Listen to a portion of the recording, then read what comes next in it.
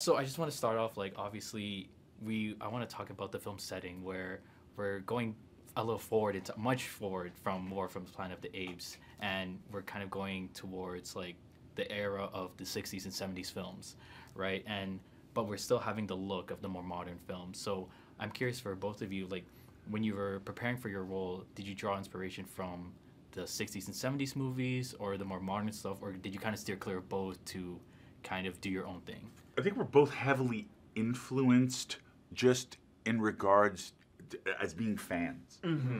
Right. Yeah, and heavily influenced, especially in, in my case, by by Andy Serkis and his, Yeah. hi- like I grew up with his performances, and you know, so so Caesar. Obviously, I've spent a, I've watched a lot. We Yeah. we both revere that trilogy. Yes. Um, Yeah. but in terms of actually creating these characters for this movie, I think we both sort of we didn't study those previous movies or anything. We didn't like look to those to create these characters. Right. When you when you're an actor, Mm. um, you know, we have these neurons in our brain called mirror neur- neurons. Everybody has them, and some of them have more than others.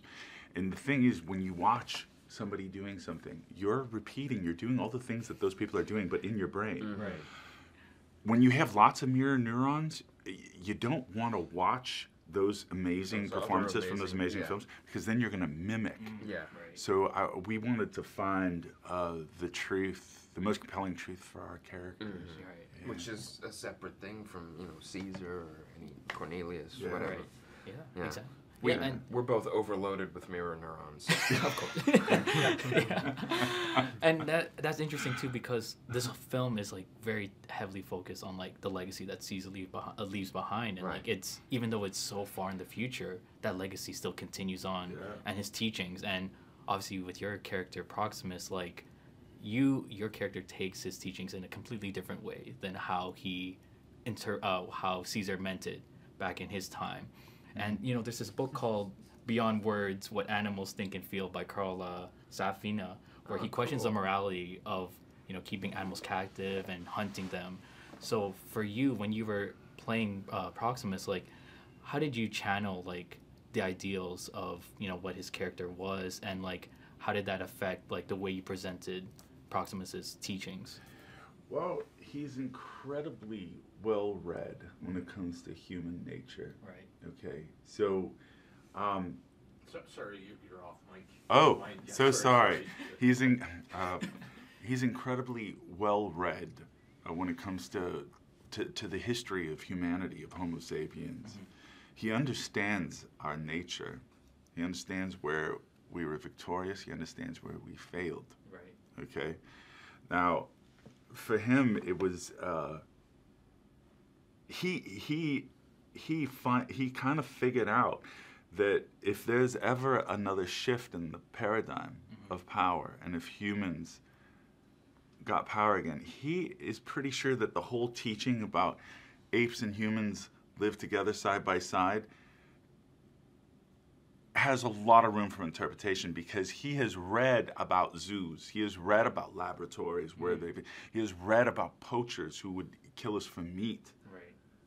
Right. So, you know, is it twisted truth or is it just a valid interpretation? Because Raka has his. Raka's is a, it, it's a little, it's a lot more sunshiny than than Caesar actually Right. interpreted, and, and mine might be a little bit more like, kind of like we only have this much time before these humans take over again. Right. Yeah. And I like how that when you have that kind of conversation with your character, mm.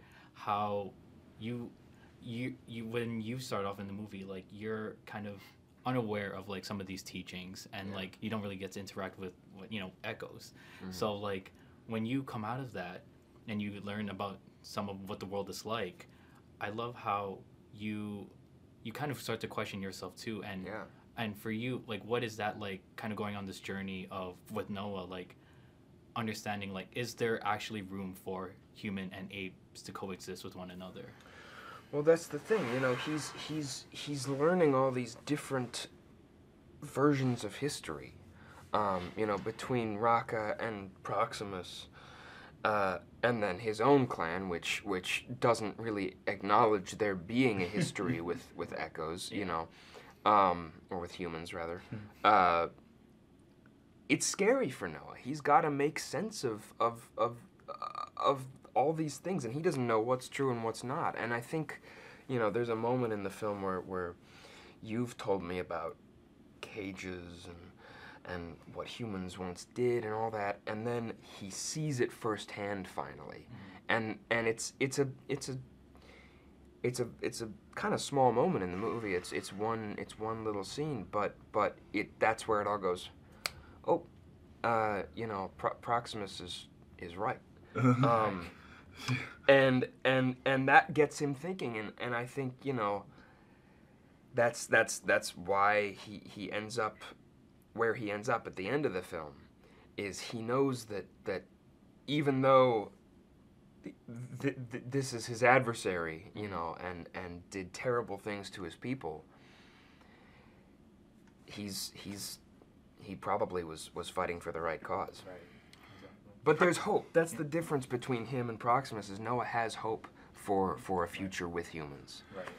Yeah, Proximus is like, yeah, the, the humans are great. Um, put them up on a table and make them sing and dance for you and Right. peel your grapes, but Yeah. read you a book, sing you a song. yeah. But Yeah. but you know, y- y- you're not y- y- you're not gonna get the vote. yeah, uh, but but Noah, you know, there's there's like an angel and a devil. There's Raka and there's Proximus, and these two kind of he, he he's still he's got this this kind of compassion and this kind of empathy that, that lets him hope for a future with with Right. with humanity. So nice. I mean, I, I really want to say thank you for taking the time to do this. Like, see, being in front of you guys, like, it's really made me feel like you guys, like, seeing your characters and hearing you, the way you guys talk, like, I want to commend, like, your performances. And so, mm-hmm. again, thank you so much for taking the time. I hope you guys have a great rest of the junket. Aw, Thank you. hey. Proximus says thank you. Have a wonderful day. That's amazing.